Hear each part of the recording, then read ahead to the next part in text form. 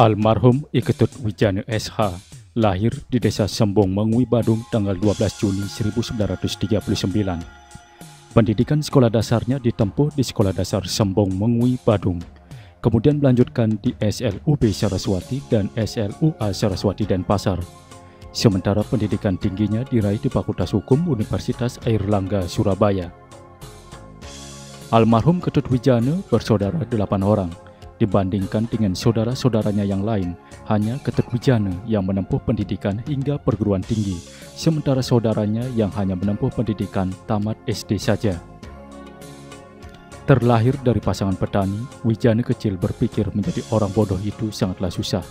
Inilah yang melatar belakangi kenapa sampai Wijana kecil menempuh pendidikannya hingga ke Surabaya yang terbersit di benaknya hanya bagaimana bisa menamatkan pendidikannya di Surabaya, bahkan dirinya berkomitmen akan pulang ke Bali kalau sampai gagal.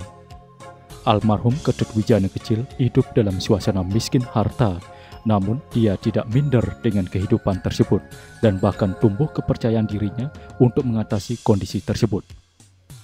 Sang ayah almarhum Iwayan Cekek memang tergolong miskin harta, hanya tergantung dari kehidupannya sebagai petani. Hal inilah yang menyebabkan Ketut Wijana kecil memiliki pengetahuan dan pemahaman tentang perasaan rakyat kecil yang hidup penuh keprihatinan, penuh kesulitan, dan penuh penderitaan. Dari kehidupan yang miskin harta, juga menempa hidup Ketut Wijana kecil tidak mudah putus asa, melainkan tumbuh sebagai kekuatan daya dorong, sebagai semangat untuk keluar dan mengubah keprihatinan itu sebagai peluang. Hal tersebut yang menjadi jiwa dan semangat yang mendorong Iketut Wijana menempuh pendidikannya hingga ke Surabaya, tepatnya di Fakultas Hukum Airlangga Surabaya, hanya untuk mengubah kehidupannya yang penuh kemelaratan. Dalam kehidupan sehari-hari, almarhum Iketut Wijana adalah tergolong sosok yang sangat sederhana dan penuh bersahaja. Dalam diri Iketut Wijana hanya ada komitmen dan spirit yang kuat untuk memajukan keluarga pada khususnya di bidang pendidikan. Kepeduliannya di bidang pendidikan terhadap keluarga yang kemudian di dalam pemerintahan Ketut Wijana mengaplikasikannya dalam pembangunan Universitas Warmadewa dan Pasar. Orientasinya adalah memprioritaskan pengembangan sumber daya manusia melalui pendidikan dan kesehatan karena dengan pintar dan sehat manusia akan bisa mengembangkan diri dalam kehidupannya. Karakter kepemimpinan Ketut Wijana di pemerintahan dan keluarga merupakan taksu atau inner power yang membentuk simpati, komitmen, kesetiaan, dan dukungan dari keluarga serta bawahannya. Hampir separuh hidupnya, Ketut Wijana abdikan untuk bangsa dan negara melalui pengabdiannya di pemerintahan. Ketut Wijana berjuang dan mengabdi mengisi kemerdekaan untuk kepentingan rakyat kecil melalui pemerintahan. Reputasi dan citra almarhum Iketut Wijana bukan hanya dibentuk oleh peran yang telah dikerjakannya selama dia hidup, melainkan juga Iketut Wijana dipercaya untuk menyumbangkan pemikiran dan konsep-konsep pembangunan bangsa dan negara yang berorientasi kepada kepentingan rakyat, yakni pernah sebagai wakil ketua DPRD Bali selama dua periode. Jadi sebenarnya beliau uh, kalau latar belakang melanjutkan pendidikan sampai sarjana, kalau dicari beliau adalah bersaudara delapan orang, beliau paling kecil. Saudara-saudara beliau yang lainnya itu hanya tamatan sekolah dasar. Jadi beliau saja yang uh, melanjutkan sampai ke jenjang pendidikan perguruan tinggi. Memang ada hal yang pengalaman keluarga, kami dari kehidupan keluarga petani biasa jadi ada situasi yang pernah membuat beliau terpacu dengan kejadian itu yang menyebabkan beliau punya pandangan menjadi orang yang bodoh itu sangat susah. Jadi sehingga beliau waktu itu bertekad, saya harus melanjutkan pendidikan, saya harus tahu, harus mengetahui apa yang terjadi dalam kehidupan ini. Sehingga beliau bertekad melanjutkan ke Surabaya, dan kalau beliau misalnya gagal di Surabaya, beliau mengatakan tidak akan pulang ke Bali gitu. Tapi akhirnya mungkin uh, Tuhan memang jalan hidup beliau sudah demikian. Jadi beliau selesai kemudian melanjutkan ke uh, apa namanya pengabdiannya di Bali di Gianyar yang pertama itu. Dan kenapa dipilih sebagai uh, katakanlah pegawai negeri sipil? Karena beliau merasakan bahwa kadang-kadang mengurus sesuatu itu dalam birokrasi itu terasa sangat sulit. Gitu. Jadi beliau ingin mengabdikan diri beliau bahwa semua masyarakat, semua lapisan masyarakat harusnya mendapatkan pengayoman yang sama di mata birokrasi. Gitu. Nah inilah yang memacu beliau, beliau berkeinginan untuk menggeluti di birokrasi itu, apakah benar birokrasi itu menyulitkan. Nah ternyata dari apa yang beliau jalankan, yang saya pernah juga merasakan bahwa pada saat beliau menjabat sebagai uh, kepala biro pemerintahan ada satu kasus yang mungkin karena hal tertentu itu prosesnya lama kemudian ternyata beliau bisa selesaikan segera dan yang bersangkutan yang memiliki kasus itu kemudian mendatangi beliau untuk menyerahkan daripada apa yang diperjuangkan sekian lama ini kepada Bapak Ketut Wijana. Tapi beliau mengatakan ini memang menjadi tugas kami. Sebenarnya birokrasi itu adalah membantu kehidupan masyarakat. Itu. Nah inilah yang melatar belakangi beliau bergelut ke birokrasi. Dan beliau mengatakan di birokrasi itu kita tidak bisa berharap material terlalu berlebihan. Tapi beliau selalu menanamkan nikmati apa yang Anda terima. Gitu. Jadi jangan mentargetkan diri dari segi materi, tapi untuk pengembangan diri, untuk pengabdian, Anda harus tetap mengobarkan diri Anda untuk bisa memberikan yang terbaik untuk diri sendiri maupun orang lain. Itu. Yang saya ingat dan saya catat betul bahwa Bapak kami kenal dari anak-anak sebagai satu figur yang disiplin, yang penuh dengan tanggung jawab, namun tetap dalam nuansa kesederhanaan. Jadi yang melekat pada benak kami Bapak adalah tipe orang yang sangat komunikatif. Jadi Bapak selama ini banyak dikenal dan banyak mengenal orang. Jadi baik dari tingkatan masyarakat yang terbawah maupun lapisan yang atas pun beliau menjalin komunikasi secara baik tanpa mengenal perbedaan-perbedaan apa pun. Kemudian yang kedua, sebagai unsur aparatur di samping yang kita kenal bahwa dari sisi karir Bapak sudah bisa mencapai jenjang karir sampai pada tingkatan wakil gubernur.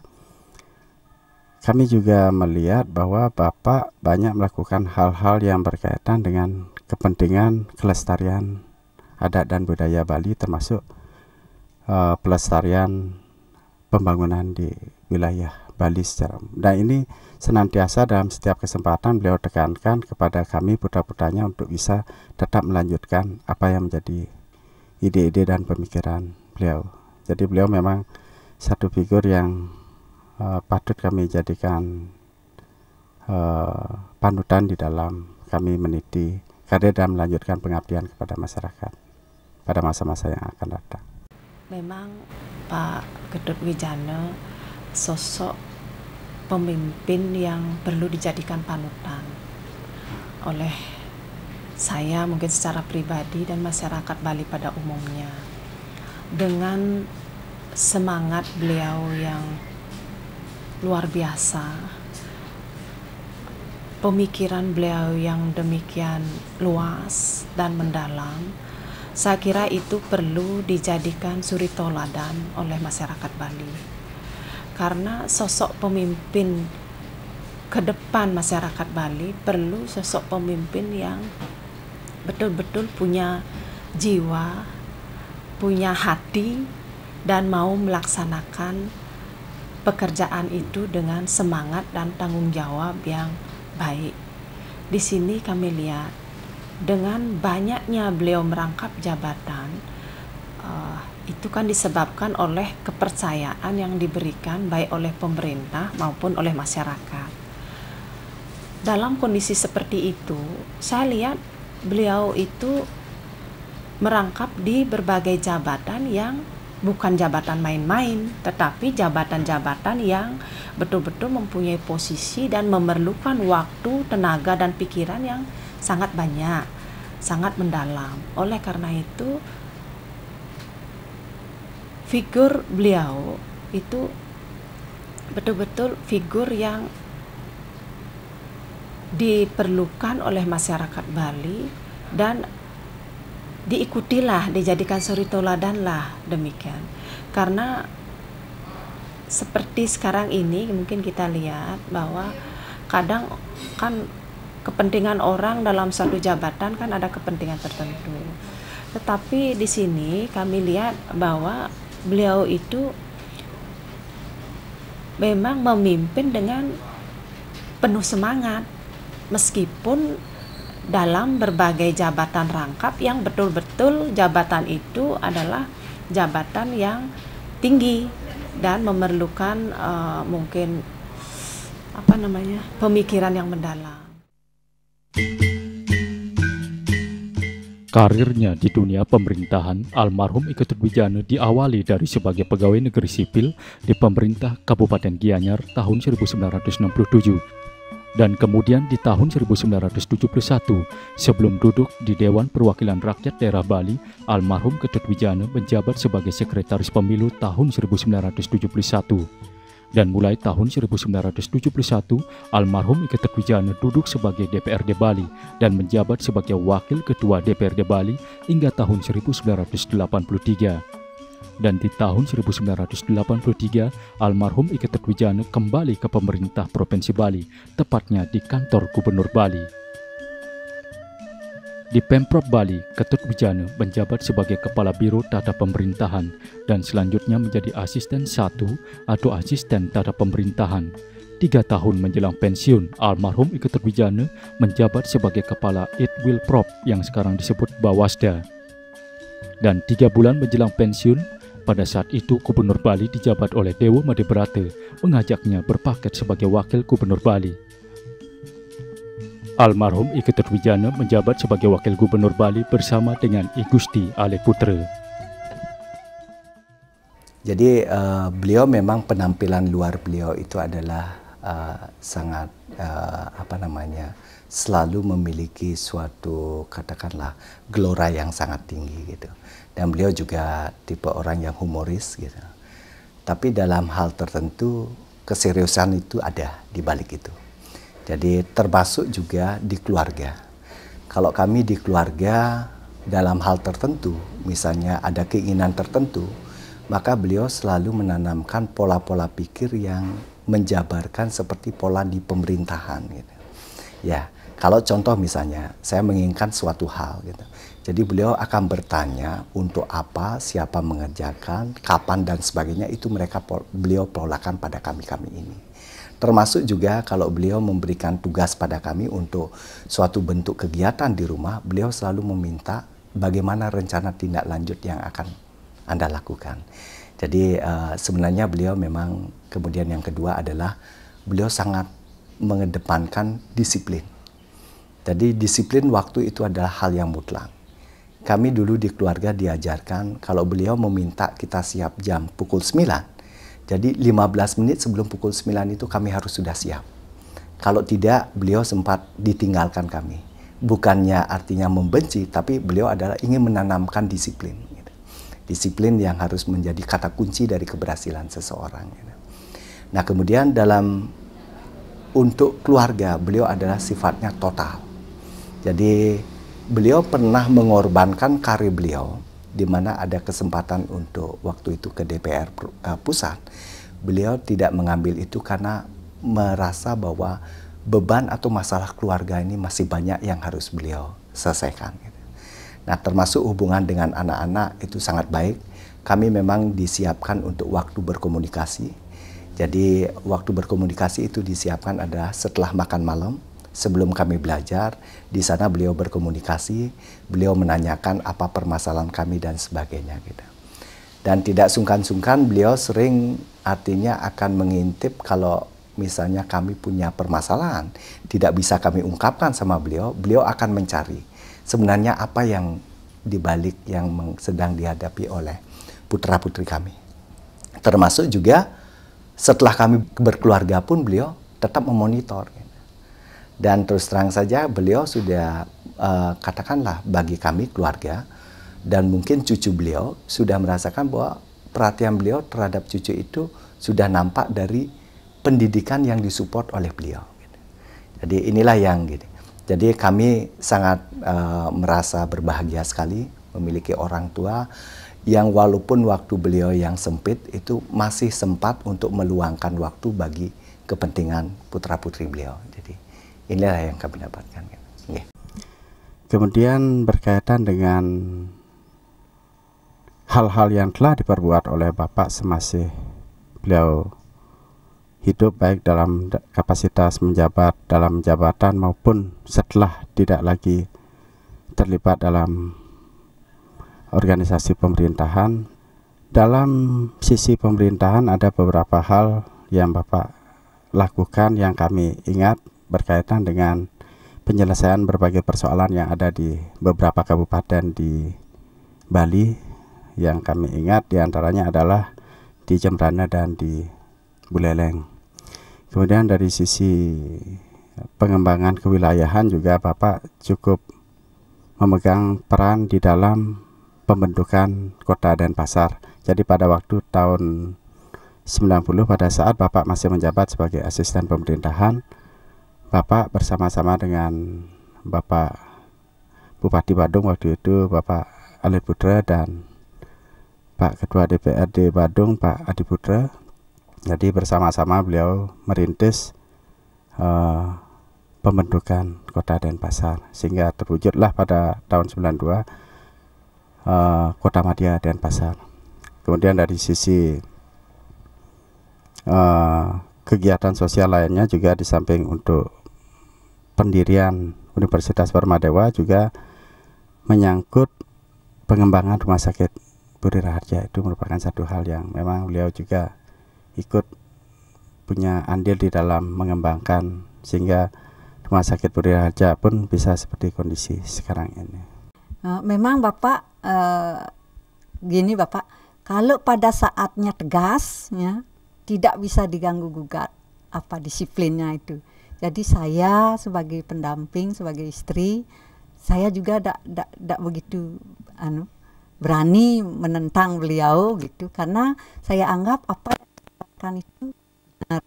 Jadi beliau memberikan saran dengan alasan. Jadi tidak mentang-mentang begini begini begini gitu. Alasannya itu. Ini gitu. Jadi dengan argumentasi lah beliau memberikan. Demikian juga kepada anak-anak ya. Anak saya kan ya banyak yang jadi pegawai semuanya ya cuma satu aja yang wira swasta. Ya juga kalau didengar gimana itu masalah tugas-tugasnya itu Bapak senang sekali memberikan bimbingan di rumah kepada anak-anaknya yang sudah memegang jabatan. Ya jadi jiwa Bapak memang jiwa membimbing gitu ya Mengapa almarhum Iketut Wijana menjatuhkan pilihannya sebagai pegawai negeri sipil? Almarhum ingin mengabdi terhadap nusa dan bangsa Pegawai negeri sipil dipilihnya karena pada saat itu mengurus birokrasi sangatlah sulit. Prinsipnya, semua masyarakat seharusnya mendapatkan pengayoman yang sama di mata birokrasi. Bagi almarhum Iketut Wijana, birokrasi bukanlah lahan untuk mencari kekayaan. Prinsipnya, jangan menjadikan jabatan sebagai ladang untuk mencari kekayaan. Dalam pustaka suci Sara Muscaya dijelaskan, hidup sebagai manusia merupakan kesempatan emas, sebab hanya dengan lahir sebagai manusia, dapat membedakan perbuatan yang baik, subah karma, sehingga kelak dapat menolong dirinya sendiri dari penderitaan dan mencapai kebahagiaan abadi. Ajaran induk ini sangat dipahami oleh almarhum Ketepijana karena ia terdorong untuk memanfaatkan kesempatan hidup sebagai manusia ini untuk berbuat karma, sesuatu yang memiliki makna bagi hidupnya sendiri dan bagi orang lain. Yang dimaksudkan orang lain adalah orang tuanya, keluarganya, masyarakat, dan terhadap setiap orang yang membantu serta terkait dengan proses pencapaian tujuannya, termasuk bermakna bagi bangsa Indonesia, serta lebih khusus adalah bermakna bagi masyarakat dalam memberikan pengayoman dalam mengurus birokrasi di pemerintahan. Memang di dunia ini tidak ada seseorang yang berkarma tanpa motif atau tujuan. Betapapun kecil dan sederhananya karma itu, tentu ada tujuannya yang berguna bagi keluarga, masyarakat, serta nusa dan bangsa. Almarhum Iketut Wijana adalah orang yang cerdas, kreatif, selalu bekerja tanpa mengenal lelah dan putus asa, serta memiliki kemampuan dan keberanian mengambil keputusan. suatu karakter pribadi yang sangat diperlukan bagi setiap orang yang mengawali kegiatan pencapaian suatu cita-cita. Ketajaman almarhum Ketut Wijanu dalam mengambil keputusan mulai dari pencapaian pendidikan hingga karirnya sebagai wakil gubernur Bali adalah suatu langkah dan komitmennya menuju cita-cita dalam memberikan pengayoman kepada masyarakat.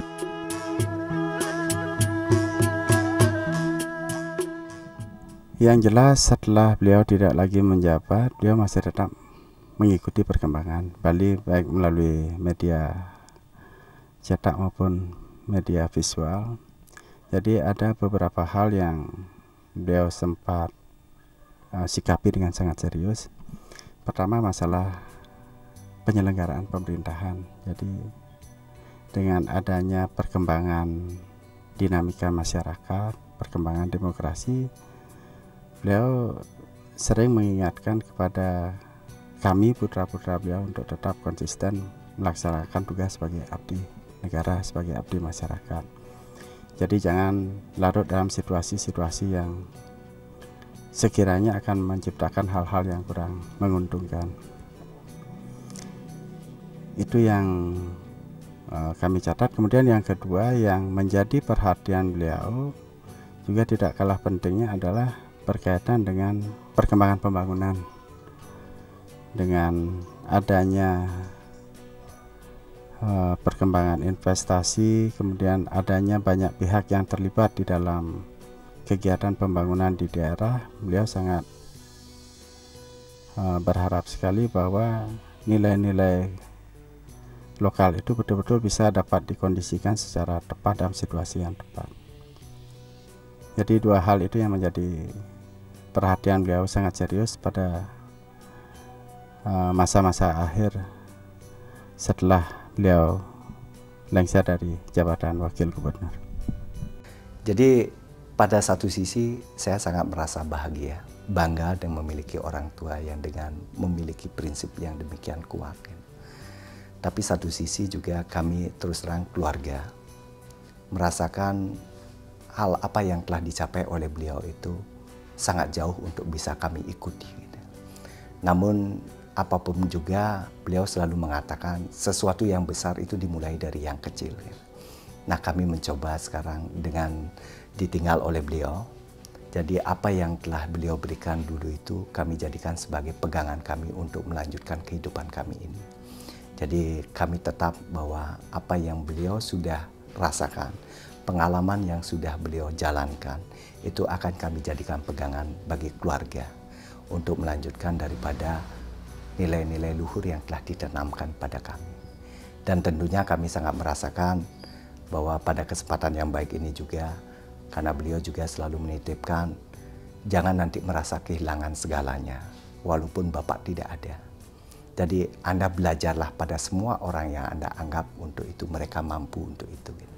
Yaitu yang pegangan sehingga kami memang harus dengan ikhlas itu melepas beliau ya kami hanya mohon nanti doa restu dari Bapak Ibu sekalian. Mudah-mudahan beliau bisa diterima sesuai dengan amal bakti beliau.